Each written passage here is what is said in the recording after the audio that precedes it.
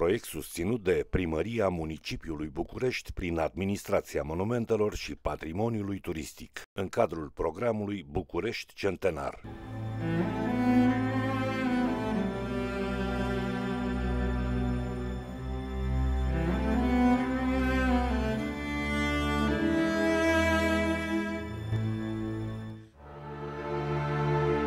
În 1789, în prima împărțire administrativă a orașului București, Mahaloa Popanan figura ca făcând parte din plasa târgului din afară.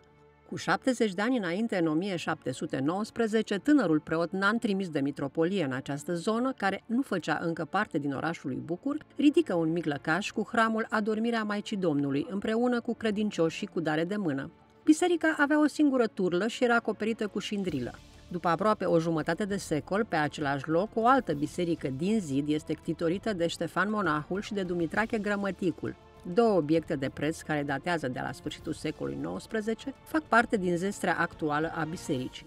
Un sfânt epitaf și cristelnița din 1895, în care încă se mai săvârșește botezul pruncilor și în zilele noastre. Devenită o ruină în urma cu tremurelor din secolul XIX, în noaptea de Sfântul Ilie a anului 1910, biserica se prăbușește.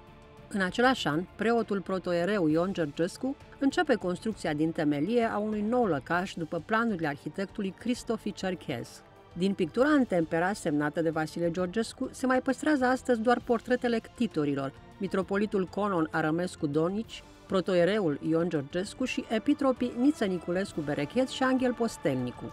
Noului lăcaș se va adăuga încă un hram, cel al Sfinților Împărați Constantin și Elena.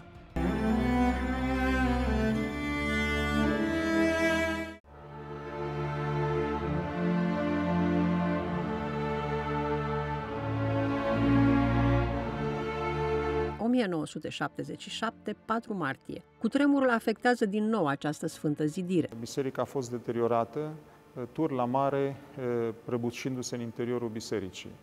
Atunci, tot un preot tânăr, numit în acel an la biserică, Părintele Victor Frangulea, împreună cu credincioșii din parohie, cu ajutorul Arhiepiscopiei, bineînțeles, și a multor parohii din București, dar și din țară, au reușit reconstrucția bisericii, practic, până în 1984 și apoi până în 1988, când biserica a fost refăcută. Biserica Popanan va fi resfințită în 1989 de către Patriarhul Teoctist, de altfel prima sfințire a acestuia în calitate de patriar. Și pictată din nou, de data aceasta, în, în frescă, executată de maestru Mihai Bogdan Mociulski.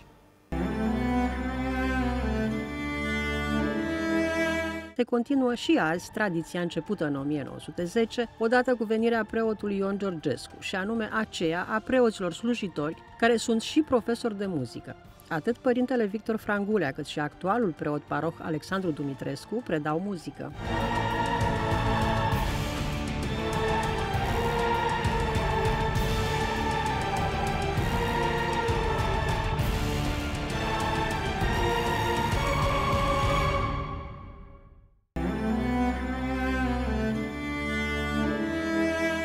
Proiect susținut de Primăria Municipiului București prin Administrația Monumentelor și Patrimoniului Turistic, în cadrul programului București Centenar.